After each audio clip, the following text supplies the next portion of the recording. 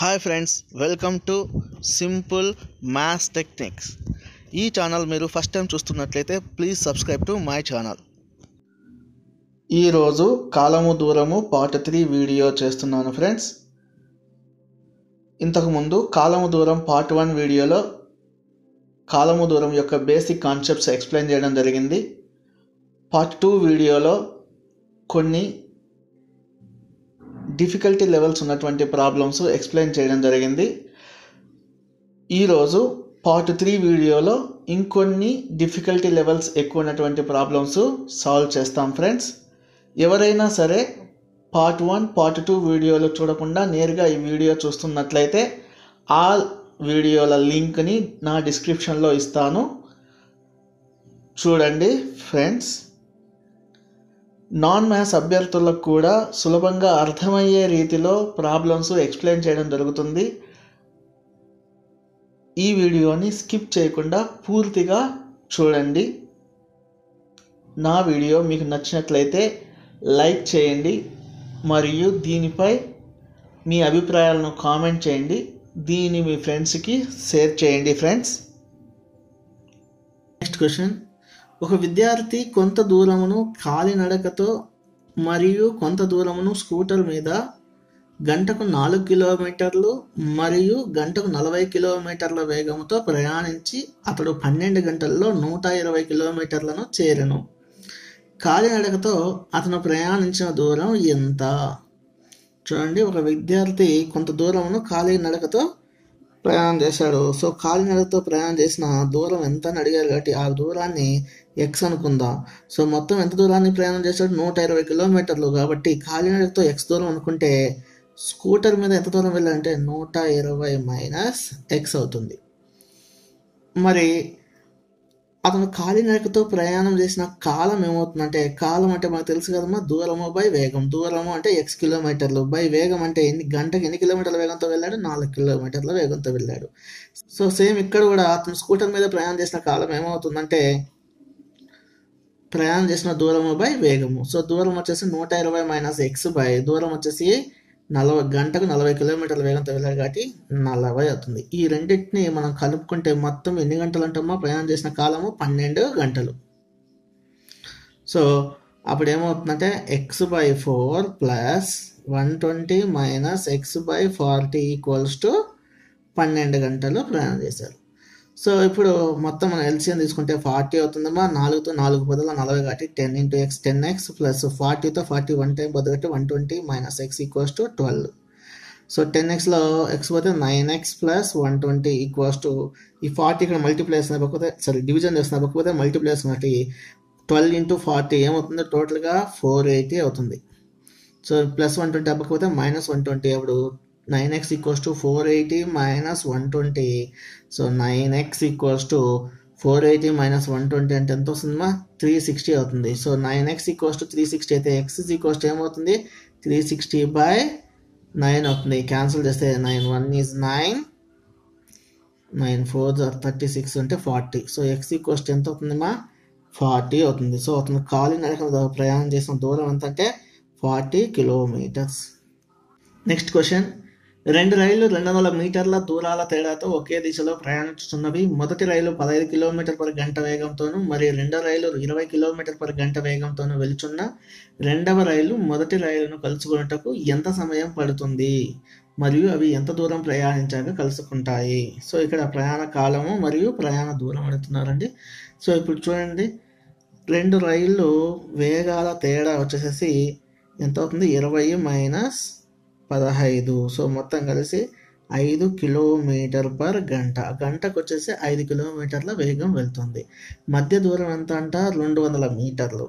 So అప్పుడు ప్రయా మధ్య దూరానికి ప్రయాణం చేస్తున్నటువంటి కాలం ఎంత అవుతుందంటే దూరము బై వేగము. దూరం అంటే రెండు వందల మీటర్లు బై కాలం వేగం వచ్చేసి ఐదు కిలోమీటర్ పర్ గంట. కాబట్టి మనం ఇక్కడ ఏం చేస్తామంటే ఈ మీటర్లని కిలోమీటర్లకు మార్చుకుంటే జీరో పాయింట్ టూ కిలోమీటర్ అవుతుంది బై ఐదు కిలోమీటర్ పర్ గంట. సో అప్పుడు మనం ఐదుతో క్యాన్సిల్ చేస్తే జీరో పాయింట్ జీరో ఫోర్ గంటలు వస్తాయి. అంటే కాలం వచ్చేసేసి ఎంతమ్మా? జీరో పాయింట్ జీరో ఫోర్ గంటలు. సో వీటిని మనం సెకండ్లలోకి మార్చుకోవచ్చు లేదంటే అలా అలాగే వదిలేసేయచ్చు. ఒకవేళ సెకండ్లలోకి మార్చుకుంటే ఎంత అవుతుందంటే zero point zero four into గంటకు అరవై నిమిషాలు మరియు ఒక నిమిషానికి అరవై సెకండ్లు కాబట్టి జీరో జీరో. రెండు సున్నాలకి ఈ రెండు పాయింట్లు వెళ్ళిపోతే నాలుగు అవుతుంది. నాలుగు ఆరు ఇరవై నాలుగు ఇరవై నాలుగు ఆరులు ఎంత అంటే నూట నలభై నాలుగు సెకండ్లు వచ్చింది.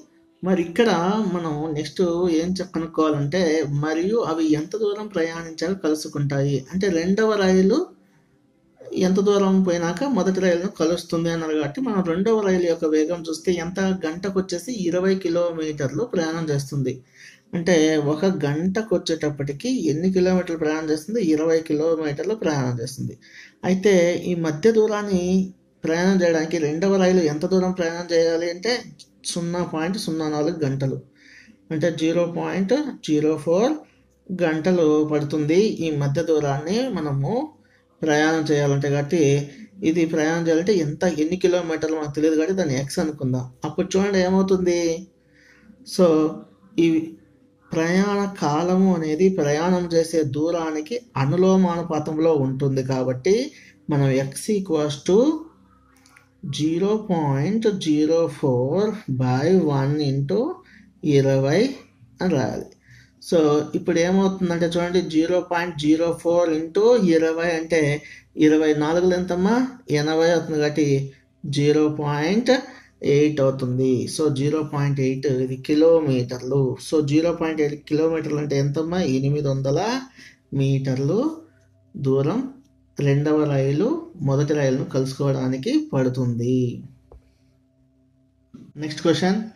స్టాపులను లెక్కలోకి తీసుకోకుండా బస్సు యొక్క వేగము గంటకు యాభై నాలుగు కిలోమీటర్లు మరియు స్టాపులను లెక్కలోకి తీసుకుంటే గంటకు నలభై ఐదు కిలోమీటర్లు. మరి అయితే బస్సు స్టాపుల వద్ద ఎన్ని నిమిషాలు ఆగుతుంది? అంటే ఇక్కడ బాగా గమనించంటే బస్సు స్టాపుల వద్ద ఆగుతూ ఉంటే గంటకు అది నలభై ఐదు కిలోమీటర్ల దూరం ప్రయాణం చేస్తుంది. అదే స్టాపుల వద్ద ఆగకుండా నేరుగా బస్సు వెళ్ళిపోతే గంటకు యాభై నాలుగు కిలోమీటర్ల దూరం ప్రయాణం చేస్తుంది. మరి ఆ బస్సు స్టాపుల వద్ద ఆగుతూ ఉన్నప్పుడు ఆ ఎన్ని నిమిషాలు పడుతుంది అనేసి ఈ క్వశ్చన్ అడుగుతున్నారండి. ఒకసారి గమనిద్దాం.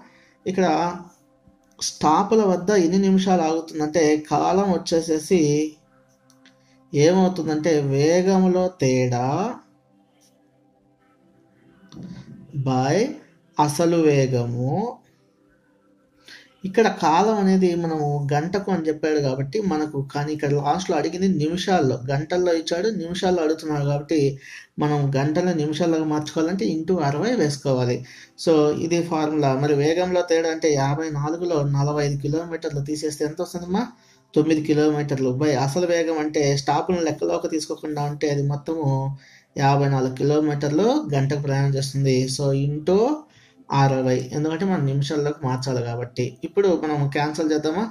సో తొమ్మిదితో తొమ్మిది ఒకటిలో తొమ్మిది తొమ్మిది ఆరుల యాభై నాలుగు ఆరుతో ఆరు ఒకట్ల ఆరు పదుల.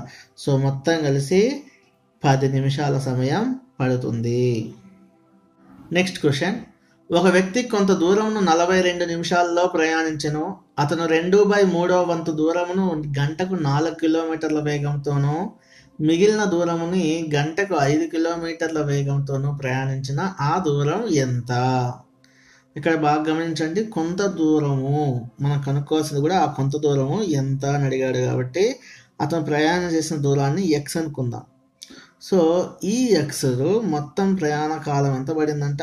నలభై రెండు నిమిషాలు పడింది. సో ఎక్స్ దూరం అతను ప్రయాణం చేయడానికి మొత్తము నలభై రెండు నిమిషాలు పడింది. మరి ఇక్కడ బాగా గమనించండి రెండు బై మూడో వంతు దూరమును.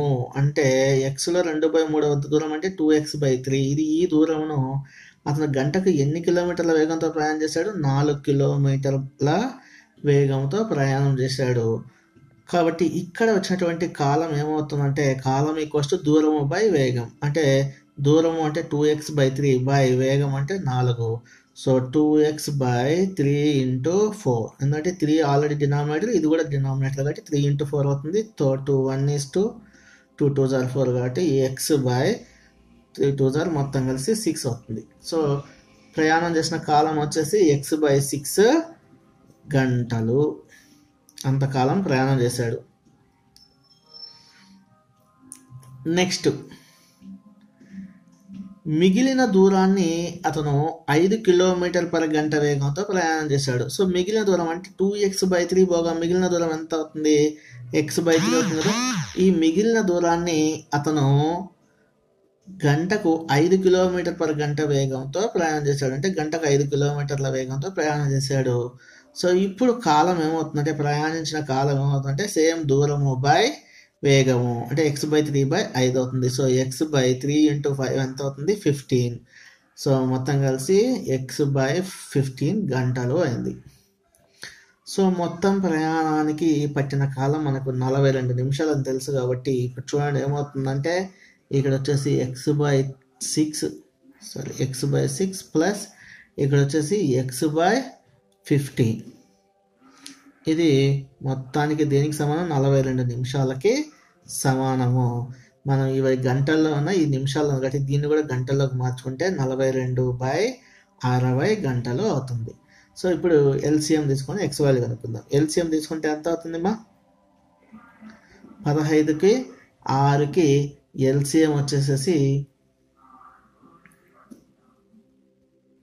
మూడుతో మూడు ఐదుల పదహైదు మూడు రెండుల ఆరు. సో చూడండి ఐదు వందల పదహైదు పదహైదు వందలు ఎంత అవుతుందంటే ముప్పై అవుతుంది. సో ఆరు ఐదుల ముప్పై కాబట్టి ఐదు ఇంటూ ఎక్స్ ఐదు ఎక్స్ ప్లస్ పదహైదు రెండుల ముప్పై కాబట్టి రెండు ఇంటూ ఎక్స్ రెండు x. So that is equals to నలభై రెండు బై అరవై అవుతుంది. సో ముప్పైతో క్యాన్సిల్ చేస్తే ముప్పై ఒకట్ల ముప్పై రెండుల రెండుతో క్యాన్సిల్ చేస్తే రెండు ఒకట్ల రెండు ఇరవై ఒకట్ల. సో ఐదు ఎక్స్ ప్లస్ రెండు ఎక్స్ అంటే ఎంత? ఏడు ఎక్స్ వచ్చేసి ఇరవై ఒకటి అయింది. ఎక్స్తో ఏడుతో క్యాన్సిల్ చేస్తే ఏడు మూడుల ఇరవై ఒకటి. సో ఎక్స్ వాల్యూ వచ్చేసి ఎంత అవుతుంది మూడు. మరి ఇదే దూరం కాబట్టి మొత్తం ప్రయాణించిన దూరం ఎంత అవుతుంది మూడు కిలోమీటర్. క్వశ్చన్ ఏ బి కంటే రెండు రెట్లు వేగం కలవాడు. మరియు బి సి కంటే మూడు రెట్ల వేగం కలవాడు. ఒక ప్రయాణానికి సికు పట్టిన సమయం నలభై రెండు నిమిషాలు అయితే ఏకు ఎంత సమయం పడుతుంది? బాగా గమనించండి. ఇక్కడ ఏ అనేవాడు బి కంటే రెండు రెట్ల వేగం కలవాడు. అంటే బీకు రెండు రెట్లు వచ్చేసి ఏ సమానం అవుతుంది. అదేవిధంగా బి వచ్చేసేసి సి కంటే మూడు రెట్ల వేగం కలవాడు. అంటే బి అనేది త్రీ సికి సమానం అవుతుంది. అప్పుడు ఏకి సికి కంపేర్ చేసుకుంటే ఏమవుతుందమ్మా? A equals to two into b అంటే త్రీ సి కదా. సో అప్పుడు ఏ ఈజ్ ఈక్వల్స్ ఏమవుతుంది? సిక్స్ సి అంటే ఏ అనేవాడు సి కంటే ఆరు రెట్ల వేగము కలవాడు.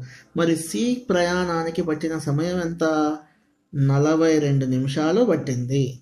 మరి అదే ఏకు ఎంత సమయం పడుతుందంటే ఏ అంటే నలభై రెండు బై ఆరు రెట్ల ఎక్కువ వేగం కలవాడు కాబట్టి సి కంటే ఆరుతో భాగింపు చేస్తే ఆరు ఒకట్ల ఆరు ఏళ్ళ సో మొత్తం కలిసి ఏకు ఎన్ని నిమిషాలు పడుతుందమ్మా? ఏడు నిమిషాల సమయము పడుతుంది.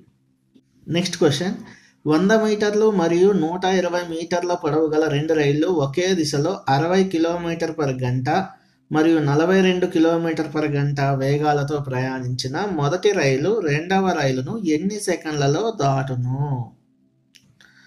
చూడండి ఇక్కడ. రెండు రైళ్ళు ఒకే దిశలో ప్రయాణం చేస్తూ ఉన్నవి. ఒకే దిశలో ప్రయాణం చేస్తూ ఉంటే వాటి సాపేక్ష వేగం ఏమవుతుందో ఒకసారి గమనించండి. సాపేక్ష వేగం వచ్చేసి ఏమవుతుంది? రెండు రైళ్ళ వ్యత్యాసము అంటే వేగాల వ్యత్యాసము. మొదటి రైలు యొక్క వేగం ఎంత? అరవై కిలోమీటర్ పర్ గంట. మైనస్ రెండవ రైలు వేగం వచ్చేసి నలభై రెండు కిలోమీటర్ పర్ గంట. సో వీటి వ్యత్యాసం ఏమవుతుందంటే అరవైలోంచి నలభై రెండు తీసేస్తే పద్దెనిమిది కిలోమీటర్ పర్ గంట అవుతుంది. నెక్స్ట్. అయితే ఇక్కడ ఎన్ని సెకండ్లలో దాటుతుంది అన్నప్పుడు కాబట్టి మనం వీటి మీటర్లు పర్ సెకండ్లలోకి మనం చేంజ్ చేసుకుంటే మరి కిలోమీటర్లను మీటర్లలోకి మార్చాలంటే మనం ఆల్రెడీ చెప్పుకున్నాం ఎక్కువలోంచి తక్కువలోకి మారుస్తున్నాం కాబట్టి తక్కువ బై ఎక్కువ అని. అంటే ఐదు బై పద్దెనిమిది చేత గుణిస్తే అది మీటర్ పర్ సెకండ్లోకి మారిపోతుంది కాబట్టి సో ఇప్పుడు పద్దెనిమిదికి పద్దెనిమిది క్యాన్సిల్ అయిపోతే మొత్తం కలిసి ఐదు మీటర్ పర్ సెకండ్ అవుతుంది. ఇది సాపేక్ష వేగము. మరి ఇక్కడ మనం ఏం చేయాలి? ఆ రెం మొదటి రైలు రెండవ రైలును దాటడానికి పట్టే కాలం వచ్చేసి సూచన మనకు ఆల్రెడీ తెలుసు. రెండు రైళ్ళ పొడవుల మొత్తము బాయ్ సాపేక్ష వేగము. సో మనకు రెండు రైళ్ళ పొడవుల మొత్తం అంటే మొదటి రైలు వంద మీటర్ల పొడవు ఉంది రెండవ రైలు నూట ఇరవై మీటర్ల పొడవు ఉంది. బై సాపేక్ష వేగం వచ్చేసి ఐదు. మొత్తం కలిసి వంద ప్లస్ నూట ఇరవై అంటే రెండు వందల ఇరవై బై ఐదు. ఐదుతో క్యాన్సిల్ చేస్తే ఐదు. ఒకట్ల ఐదు ఐదు నాలుగుల ఇరవై. మళ్ళీ ఇరవై ఉంటుంది కాబట్టి ఐదు నాలుగు ఇరవై. సో మొత్తం కలిసి నలభై నాలుగు సెకండ్లలో మొదటి రైలు రెండవ రైలును దాటుతుంది. Next question. డెబ్బై రెండు కిలోమీటర్లు పర్ గంట వేగంతో ప్రయాణిస్తున్న రైలు ప్లాట్ఫారంను మరియు దానిపై ఉన్న ఒక స్తంభమును దాటుటకు వరుసగా ముప్పై సెకండ్లు మరియు పది సెకండ్లు పట్టిన ఆ రైలు ప్లాట్ఫామ్ పొడవులు ఎంత? అంటే ఇక్కడ ఏమి ఇచ్చాడంటే రైలు ప్రయాణం చేసే వేగం ఇచ్చాడు మరియు ఆ రైలు ఒక స్తంభాన్ని దాటడానికి పది సెకండ్లు ఆ ప్లాట్ఫారంను దాటడానికి ముప్పై సెకండ్ల సమయం పడితే రైలు యొక్క పొడవు ఎంత ప్లాట్ఫామ్ యొక్క పొడవు ఎంత? మనకు తెలియదని మనము ఎక్స్ వైలు అనుకుంటాం కాబట్టి రైలు పొడవు ఎంత అనుకుందామా? ఎక్స్ అనుకుందాం. ప్లాట్ఫామ్ పొడవు వై అనుకుందాం. మరి ఇప్పుడు బాగా గమనించండి రైలు వేగము. రైలు వేగము అంటే ఎంత అవుతుంది రైలు వేగం వచ్చేసేసి డెబ్బై రెండు కిలోమీటర్ పర్ గంట. సో డెబ్బై రెండు కిలోమీటర్ పర్ గంటని మనం ఏం చేస్తామా మీటర్ పర్ సెకండ్లోకి మార్చుకోవాలంటే ఎక్కువలోంచి తక్కువలో మార్చుకోవాలి కాబట్టి తక్కువ బై ఎక్కువ. అంటే ఐదు బై పద్దెనిమిదితో గుణిస్తాము. అప్పుడు ఇది మీటర్ పర్ సెకండ్లోకి చేంజ్ అవుతుంది. పద్దెనిమిదితో క్యాన్సిల్ చేస్తే పద్దెనిమిది ఒకట్లా పద్దెనిమిది నాలుగులు ఎంతమ్మా? డెబ్బై రెండు. సో మొత్తం కలిసి నాలుగు ఐదుల ఇరవై మీటర్ పర్ సెకండ్. సో రైలు యొక్క వేగం వచ్చేసి ఇరవై మీటర్ పర్ సెకండ్ అంటే ఒక సెకండ్కి రైలు ఇరవై మీటర్ల దూరం ప్రయాణం చేస్తుంది. అప్పుడు రైలు ఒక స్తంభాన్ని దాటుటకు తనను తాను దాటాలి. అంటే తన పొడవును దాట దాటాలి కాబట్టి రైలు పొడవు అనేసేసి ఆ స్తంభాన్ని దాటుటకు పట్టు దూరానికి సమానము. కాబట్టి రైలు పొడవు వచ్చేసేసి ఎన్ని ఎన్ని సెకండ్లో దాటింది? పది సెకండ్లో దాటింది కాబట్టి రైలు పొడవు వచ్చేసి ఏమవుతుందంటే ఒక సెకండ్కి ఇరవై మీటర్లు. మరి పది సెకండ్లకు వచ్చి పది ఇంటూ ఇరవై రెండు వందల మీటర్లు అవుతుంది. మరి ప్లాట్ఫామ్ పొడవు ఎంత అవుతుందో ఒకసారి కనుక్కుందాం. ప్లాట్ఫామ్ పొడవు వచ్చేసి ఎంత అవుతుందమ్మా? ముప్పై సెకండ్ల సమయం పట్టింది కాబట్టి ముప్పై ఇంటూ ఒక సెకండ్కి ఇరవై మీటర్ల దూరంలో ఇరవై మీటర్ల దూరం పడుతుంది కాబట్టి ముప్పై ఇంటూ ఇరవై అంటే ఎంతమ్మా? ఆరు వందల మీటర్లు అవుతుంది. అయితే బాగా గమనించండి ప్లాట్ఫామ్ దాటాలంటే రైలు ప్లాట్ఫామ్ పొడవుతో పాటు తన పడవను కూడా తాను దాటాలి కాబట్టి ఈ మొత్తం ప్రయాణం చేసిన దూరంలో నుంచి రైలు పొడవును మనము తీసివేస్తే ఆరు వందలు మైనస్ రెండు వందలు అంటే నాలుగు వందల మీటర్లు వచ్చేసి ప్లాట్ఫామ్ పొడవు అవుతుంది. సో రైలు పడవు రెండు వందల మీటర్లు ప్లాట్ఫామ్ పడవు వచ్చేసి నాలుగు వందల మీటర్లు అవుతుంది. సో ఈ ప్రాబ్లమ్ని మనం షార్ట్కట్లో సింపుల్గా ఎలా చెప్పాలో ఒకసారి షార్ట్కట్ చూద్దామా? షార్ట్కట్ వచ్చేసేసి సింపుల్గా రైలు పొడవు వచ్చేసేసి ఏమవుతుందంటే స్తంభాన్ని దాటుటకు పట్టిన సమయము స్తంభాన్ని దాటుటకు పట్టిన సమయము ఇంటూ రైలు వేగము. స్తంభానికి పట్ దాటడానికి పట్టిన సమయం ఎంత అంటే పది సెకండ్లు.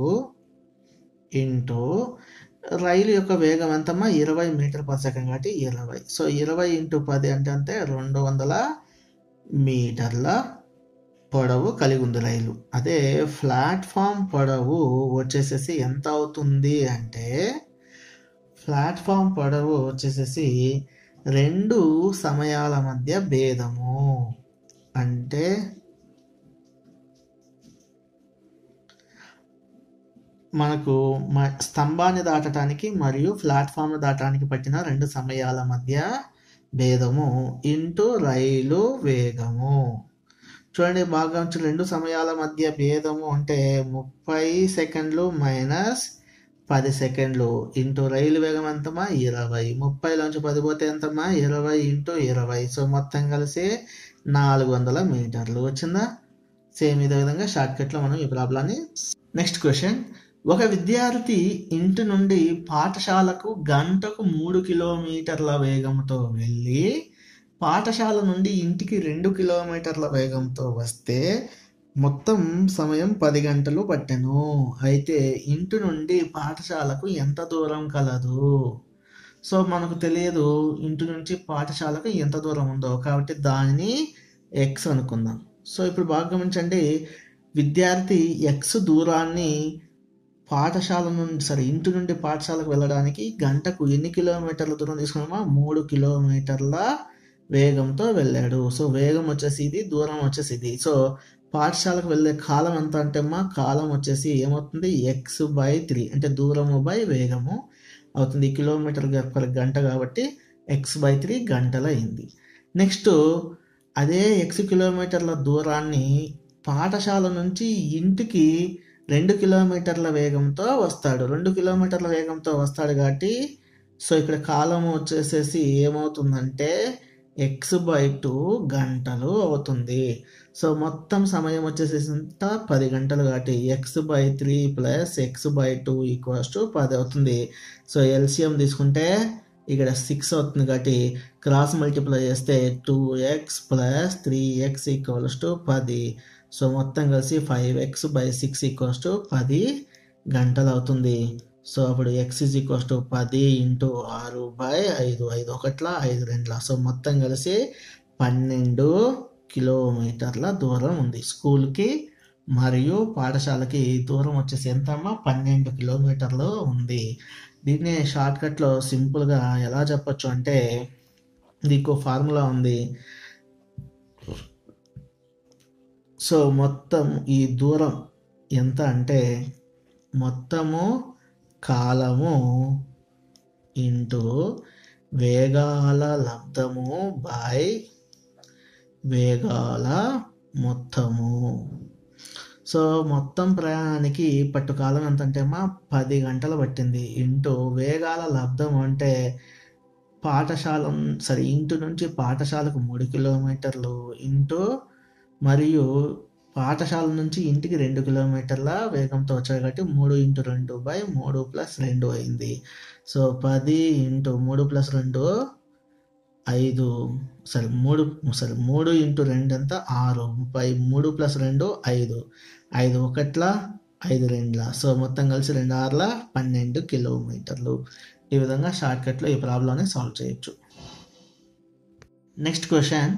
ఒక రైలు హైదరాబాదులో ఉదయం ఆరు గంటలకు బయలుదేరి విజయవాడకు ఉదయం పది గంటలకు చేరెను. ఇంకొక రైలు విజయవాడలో ఉదయం ఎనిమిది గంటలకు బయలుదేరి హైదరాబాద్కు ఉదయం పదకొండున్నర నిమిషాలకు చేరెను. అయితే రెండు రైళ్ళు ఏ సమయం వద్ద కలుసుకుంటాయి? ఇక్కడ బాగా గమనించండి. ఒక రైలు హైదరాబాద్ నుంచి విజయవాడకు ఉదయం ఆరు గంటల నుంచి పది గంటలకు బయలు చేరింది. అదే ఇంకొక రైలు విజయవాడ నుంచి ఉదయం ఎనిమిది గంటలకు బయలుదేరి హైదరాబాద్కు ఉదయం పదకొండున్నర నిమిషాలకు చేరింది. ఈ రెండు రైళ్ళు ఏ సమయం వద్ద కలుసుకుంటాయి అంటే మనకు ఆ సమయం తెలియదు కాబట్టి ఆ రైళ్ళు కలుసుకునే సమయము. చూడండి రైలు హైదరాబాద్ నుంచి కలుసుకునే సమయం వచ్చేసేసి ఎంత అనుకుందామంటే ఎక్స్ గంటలు అనుకుందాం. ఇప్పుడు బాగా గమనించండి మొదటి రైలు హైదరాబాద్ నుంచి విజయవాడకి వెళ్ళటానికి ఎంత సమయం తీసుకుంది? చూడండి ఉదయం ఆరు గంటల నుంచి పది గంటలకు చేరింది. అంటే నాలుగు గంటల సమయం తీసుకుంది. అదే రెండో రైలు విజయవాడ నుంచి హైదరాబాద్కి రావడానికి ఎంత సమయం తీసుకునింది? ఉదయం ఎనిమిది నుంచి ఉదయం పదకొండున్నర నిమిషాలకి. అంటే దాదాపు మూడున్నర గంటల సమయం తీసుకుంది. అంటే దీన్ని మిశ్రమ భిన్నంలో రాస్తే మూడు ఒకటి బై రెండు అవుతుంది. అపక్రమ భిన్నంలోకి మార్చుకుంటే మూడు వందల ఆరు ఒకటి ఏడు బై రెండు అవుతుంది. అంటే ఇవి గంటలు. మరి హైదరాబాద్ నుంచి విజయవాడకు మధ్య దూరం మనకెంతో ఎంతో తెలియదు కాబట్టి హైదరాబాద్ నుంచి విజయవాడకు ఉండేటువంటి మధ్య దూరం వచ్చేసేసి మనం ఎంత అనుకుందామా వై కిలోమీటర్లు అనుకుందాం. వై కిలోమీటర్ల దూరం ఉంది. హైదరాబాద్ నుంచి విజయవాడకు మొదటి రైలు నాలుగు గంటల సమయం పట్టింది. చేరడానికి రెండవ రైలుకి అయితే ఏడున్నర గంట సమయం పట్టింది. సరే ఇప్పుడు మనము గమనించాల్సింది ఏంటంటే వాటి వేగాలు ఎంత అవుతాయి చూద్దాం. మొదటి రైలు యొక్క వేగము ఎంత? మొదటి రైలు వేగం ఎంతమ్మా? వేగం అంటే ఏంటి? దూరము బై కాలము కదా. సో వై బై ఫోర్ అవుతుంది. అదే రెండవ రైలు యొక్క వేగము ఎంత అవుతుంది రెండవ రైలు యొక్క వేగం ఎంత అవుతుందంటే సేమ్ దూరం సేమ్ వై బై అదే దూరము బై కాలం అంటే వై బై కాలం ఎంతమ్మా? ఇక్కడ ఏడు బై రెండు. ఏడు బై రెండు పైకి వస్తే రెండు బై ఏడు అవుతుంది కాబట్టి two y by seven kilometre per గంట అవుతుంది. సో ఇవి వేగాలు. మరి మనం ఆల్రెడీ అనుకున్నాం రైలు హైదరాబాద్ నుంచి అంటే రెండు రైళ్ళు కలుసుకునే సమయం ఎంతమా హైదరాబాద్ నుంచి ఎక్స్ గంటలు అని అనుకున్నాం. మరి అదే విజయవాడ నుంచి అయితే ఎంత అవుతుంది? పట్టుకునే కలుసుకునే సమయము? చూడండి ఇక్కడ మొదటి రైలు ఆరు గంటలకు బయలుదేరింది. అప్పుడు ఆరు నుంచి ఎక్స్ గంటలు అయింది రెండవ రైలు ఎన్ని గంటలకు బయలుదేరింది? విజయవాడ నుంచి ఎనిమిది గంటలకు బయలుదేరింది. అంటే రెండు గంటల మధ్య అంటే సమయం అంతా రెండు గంటల తేడా ఉంది. కాబట్టి అప్పుడు అదే విజయవాడ నుంచి హైదరాబాద్కు బయలుదేరిన రైలు అయితే ఎన్ని గంటల సమయంలో కలుసుకుంటుందమ్మా? ఎక్స్ మైనస్ టూ గంటలు. మరి ఇప్పుడు మనం మొదటి రైలు ఎక్స్ గంటల కాలం పడుతుందని చెప్పాం కదా? సో ఎక్స్ గంటల సమయంకి వై బై ఫోర్ వేగంతో ప్రయాణించే దూరం ఎంత? సో దూరము అంటే మనకు అందరికీ తెలిసిందే ఏంటిమా కాలము ఇంటూ వేగము. కాలం అంటే ఎక్స్ గంటలు ఇంటూ వేగం అంటే వై బై ఫోర్ సేమ్ ఇక్కడ కూడా దూరం వచ్చేసి ఎంతమా సో ఇక్కడ రెండవ రైలు ప్రయాణించే దూరం వచ్చేసి కాలం వచ్చేసి ఎక్స్ మైనస్ టూ గంటలు వేగం వచ్చేసి two y by seven so x minus two into two y by seven అంటే two into x minus two into y by seven so ఈ దూరము మరియు ఈ దూరం అంటే మొదటి రైలు ప్రయాణించే దూరము ప్లస్ రెండవ రైలు ప్రయాణించే దూరం మొత్తానికి ఎంత దేనికి సమానమ్మా? హైదరాబాద్ నుంచి విజయవాడకు మధ్య ఉండే దూరానికి సమానం.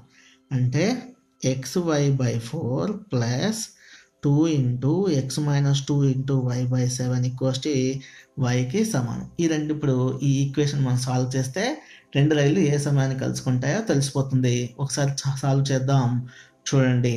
సో ఎల్సిఎం తీసుకుంటే ట్వంటీ ఎయిట్ అవుతుంది సెవెన్తో మల్టిప్లై చేస్తే seven into x y seven x y plus ఇక్కడ ఫోర్తో మల్టిప్లై చేస్తే ఫోర్ టూ సార్ ఎయిట్ అవుతుంది.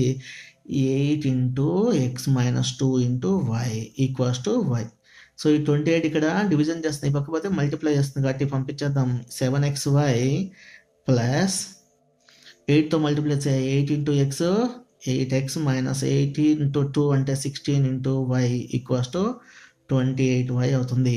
చూడండి అన్నిట్లో వై ఉంది కదా? సో వై కామన్ తీసుకుంటే ఇక్కడ seven x plus eight x minus sixteen into sorry twenty eight y so ఈ వైకి ఈ వైకి క్యాన్సిల్ అయిపోతే మిగిలిపోయిన చూడండి seven x plus eight x ఎంతమ్మా? Fifteen x minus sixteen equals to twenty eight minus sixteen అవ్వకపోతే fifteen x is equals to twenty eight plus sixteen అంటే ఎంతమ్మా? ఫార్టీ ఫోర్ అవుతుంది. సో ఫార్టీ ఫోర్ కాబట్టి x is equals to forty four by fifteen cancel చేస్తే పదహైదుతో పదహైదు రెండ్ల ముప్పై అవుతుంది. పదహైదు రెండ్ల ముప్పై. మిగిలింది ఎంతమ్మా పద్నాలుగు బై పదహైదు గంటలు. మరి పద్నాలుగు బై పదహైదుకి నిమిషాల్లోకి మార్చుకుంటే అరవై చూడండి నిమిషాల్లోకి మార్చుకుంటే ఎంత అవుతుంది? ఇంటూ అరవై వేసుకోదు కదా పదహైదు ఒకట్ల పదహైదు నాలుగు అరవై. సో పద్నాలుగు నాలుగుల యాభై ఆరు అవుతుంది. సో పద్నాలుగు బై పదహైదుకు యాభై ఆరు నిమిషాలు పడుతుంది కాబట్టి సో టోటల్ సమయము రెండు గంటల యాభై ఆరు నిమిషాల వద్ద కలుసుకుంటాయి. ఇది ఎక్కడి నుంచి? హైదరాబాద్ నుంచి కాబట్టి ఆరు ప్లస్ రెండు. మొత్తం కలిసి ఉదయం ఆరు గంటలకు బయలుదేరింది. మరియు రెండు గంటల యాభై ఆరు నిమిషాలు కాబట్టి మొత్తం వచ్చేసేసి ఎనిమిది గంటల యాభై ఆరు నిమిషాలు అవుతుంది. సో రెండు రైళ్ళు వచ్చేసి ఏ సమయం వద్ద కలుసుకున్నా ఎనిమిది గంటల యాభై ఆరు నిమిషాల వద్ద కలుసుకున్నాయి. Next question. రెండు రైళ్ళు ఎదురెదురు దిశల్లో ముప్పై కిలోమీటర్ పర్ గంట మరియు నలభై కిలోమీటర్ పర్ గంట వేగాలతో ప్రయాణించును. వాటి మధ్య దూరం ఏడు కిలోమీటర్లు అయినా అవి కలుసుకుంటకు ఎంత సమయం పడుతుంది? ఇక్కడ బాగా గమనించండి. రెండు రైళ్ళు ఎదురెదురు దిశల్లో ప్రయాణం చేస్తున్నాయి లేదా వ్యతిరేక దిశల్లో ప్రయాణం చేస్తున్నాయి. లేదా ఒకే దిశలో ప్రయాణం చేస్తున్నాయి అంటే అవి సాపేక్ష వేగము కనుగొనాల్సి వస్తుంది. ఎదురు దిశల్లో ఉన్న వ్యతిరేక దిశల్లో ఉన్న సాపేక్ష అంటే వాటి వేగాలను మొత్తం అనేది సాపేక్ష వేగం అవుతుంది కాబట్టి ఇక్కడ రెండు రైళ్ళు ఎదురెదురు దిశల్లో ప్రయాణం చేస్తున్నాయి కాబట్టి సా రెండు రైళ్ళ యొక్క సాపేక్ష వేగం వచ్చేసి ఏమవుతుందంటే వేగాల మొత్తము ముప్పై ప్లస్ నలభై. సో మొత్తం కలిసి డెబ్బై కిలోమీటర్ పర్ గంట అనేది సాపేక్ష వేగము అవుతుంది. అదే ఒకే దిశలో ప్రయాణం చేస్తూ ఉంటే మాత్రము వేగాల మధ్య తేడా అనేది సాపేక్ష వేగము అవుతుంది. సరే ఇక్కడ మధ్య దూరం కూడా ఇచ్చాడు. ఎంతమ్మా? ఏడు కిలోమీటర్లు ఇచ్చాడు. అవి కలుసుకుంటూ పట్టు కాలం వచ్చేసి డైరెక్ట్గా సూత్రమ్మా మధ్య దూరము బై సాపేక్ష వేగము.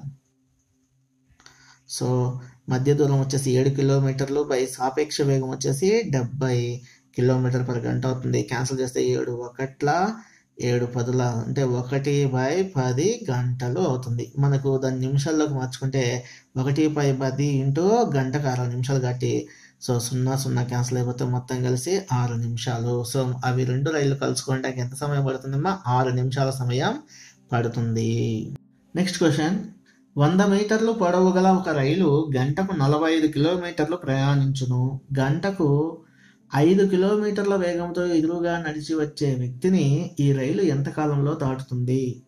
సో బాగా గమనించండి వంద మీటర్లు పొడవగలిగినటువంటి రైలు ఒక గంటకు నలభై ఐదు కిలోమీటర్ల వేగం ప్రయాణిస్తుంది. అంటే రైలు యొక్క వేగం వచ్చేసేసి ఎంత అంటే నలభై ఐదు కిలోమీటర్ పర్ గంట. అదే ఎదురుగా నడిచి వచ్చే మనిషి యొక్క వేగము ఎంత అంటే ఐదు కిలోమీటర్ పర్ గంట. మరి ఎదురెదురుగా వస్తున్నారు కాబట్టి రైలు మరియు మనిషి యొక్క సాపేక్ష వేగం ఏమవుతుందంటే నలభై ఐదు ప్లస్ ఐదు. మొత్తం కలిసి యాభై కిలోమీటర్ పర్ గంట అవుతుంది. మరి యాభై కిలోమీటర్లను మనం మీటర్ పర్ సెకండ్లోకి మార్చుకోవాలంటే ఎక్కువలోంచి తక్కువలోకి మార్చాం కాబట్టి తక్కువ బై ఎక్కువ. అంటే ఐదు బై పద్దెనిమిదితో మనం ఏం చేయాలమ్మా వీటిని? గుణించాలి. అప్పుడు మీటర్ పర్ సెకండ్లో మారుస్తుంది. సో మొత్తం కలిసి సాపేక్ష వేగము యాభై ఇంటూ ఐదు బై పద్దెనిమిది. అంటే ఇక్కడ రెండు ఎక్కంతో క్యాన్సిల్ చేస్తే రెండు తొమ్మిదిల పద్దెనిమిది రెండు ఇరవై ఐదుల యాభై. ఇరవై ఐదు ఐదుల నూట ఇరవై ఐదు బై తొమ్మిది మీటర్ పర్ సెకండ్. ఇది సాపేక్ష వేగం. మరి ఇక్కడ ఎదురుగా నడిచి వస్తున్న వ్యక్తిని రైలు ఎంత కాలంలో దాటుతుందంటే మనకు తెలుసు కదా సాపేక్ష వేగంలో కాలం అంటే ఏంటమో మధ్య దూరము బై సాపేక్ష వేగము. ఇది చూడండి మధ్య దూరము అంటే ఇక్కడ ఏమవుతుంది? రైలు మనిషిని దాటుతానికి తన పొడవును తాను దాటాలి. అంటే రైలు యొక్క పొడవు మధ్య దూరం అవుతుంది కాబట్టి రైలు యొక్క పొడవు ఎంతమ్మా? వంద మీటర్లు బై సాపేక్ష వేగం అంటే నూట ఇరవై ఐదు బై తొమ్మిది మీటర్ పర్ సెకండ్. సో ఈ నూట ఇరవై ఐదు బై తొమ్మిది మనం న్యూమరట్లకు తీసుకొస్తే తొమ్మిది బై ఇరవై ఐదు వస్తుంది. సో వంద ఇంటూ తొమ్మిది బై సారీ నూట ఇరవై ఐదు.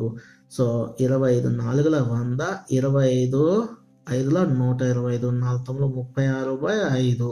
సో మనం ముప్పై ఆరు బై ఐదు ఇవి సెకండ్లు అవుతాయి. మనం ఇంకా మనం క్యాన్సిల్ చేస్తే ఐదుతో ఐదు ఏళ్ళ ముప్పై ఐదు పాయింట్ పెట్టుకుంటే పది అవుతుంది ఐదు రెండుల పది. అంటే ఏడు పాయింట్ రెండు సెకండ్లు అవుతుంది. నెక్స్ట్ క్వశ్చన్ ఒక వ్యక్తి తన వేగంలో ఐదు బై నాలుగో వంతు వేగంతో ప్రయాణించడం వలన పదహైదు నిమిషాలు ముందుగా చేరెను. అతని సాధారణ సమయం ఎంత?